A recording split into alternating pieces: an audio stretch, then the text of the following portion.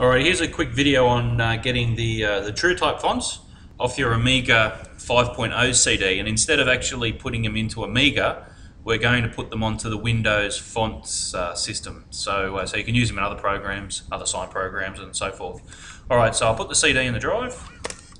Okay and uh, Windows then will um, will hopefully come up with a pop-up to say is uh, we've detected a CD and we want to explore that uh, CD find the font that we want and then simply install it onto our, our system. Okay. Like with most of my videos, I just do them in real time, so any time it takes to for the computer to catch up, it will take. Here we go. Alrighty, so um, yeah, autoplays come up, so we open the file, view the files. Alrighty, and then we're looking for our font directory. Fonts, there we go. We open this up. Um, as a, as a quick um, quick side note, if we go into our library here,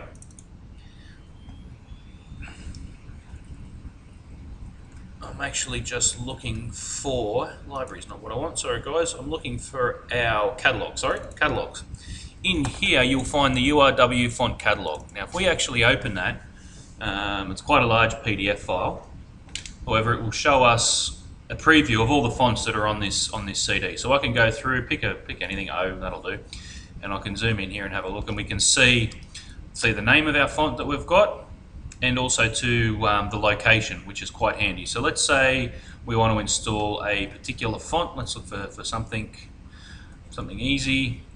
There we go. This this this Nimbus one will do. This one here. We like this font. So it's telling us it's in N, and then we've got this this number here uh, 194.3D5, whatever that means. So we'll go back to our, um, our font CD and then we'll go through to TrueType and then we'll go looking for N and then we look for N190, etc., etc. Let's have a look, 43, whatever. It doesn't matter. We'll just open this one up. So we double click on it and we can see the preview of the font and all we really need to do is just click install and this is Nimbus Sans P. That'll do. Install. and this will actually now install on our Windows uh, system. So now I can use this uh, wherever I need a, a, TrueType font, whether it be in Microsoft Word or programs like Flexi or, or stuff like that, you can import that font. So yeah, basic way to go through and, and, and look at those fonts. And we can, we can double click on any of these, we can look here or we can just double click here, have a look at the font make sure it's what we want. Yeah, that looks great. Click install, and then it installs it on our system. Simple as that. Cheers.